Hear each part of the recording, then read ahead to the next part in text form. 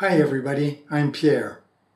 So, I've been painting for 40 years, and I've been asking myself recently what is the role of an artist in our society?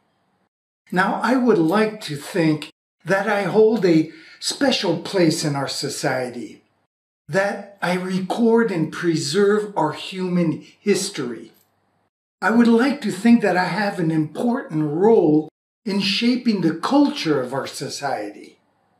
Now, if I really thought those things, I would be an idiot.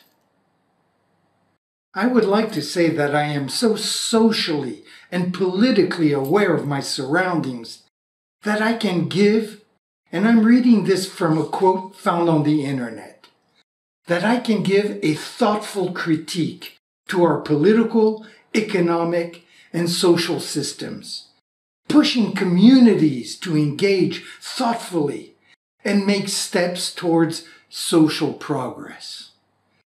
Holy shit. Have you ever heard anything so pompous? Now it's artists thinking that way that gives us this elitist attitude towards the art world. It's that attitude that creates an oligarchy in the art world, where a few benefit and a majority starve. Where gallerists, because they are connected to the rich, think that they can exploit those who actually do the work and who usually feel uncomfortable in that milieu. No, I'm sorry. Now I am aware of my surroundings, socially and politically, and I do transform those feelings and express them through my art. But that's it. I am for the demystification of art and the artist. I am against that elitist attitude that creates the star system that we see in the art world. I am against this elitist attitude that brings us the business world into the art world. The artist has to be above that.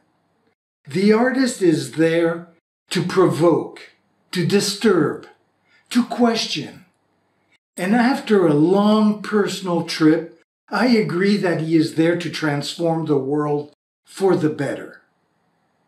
Now, the artist is a poet.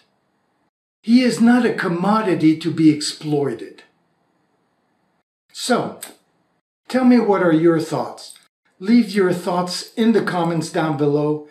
And until next time, I will say, ciao, mes amis.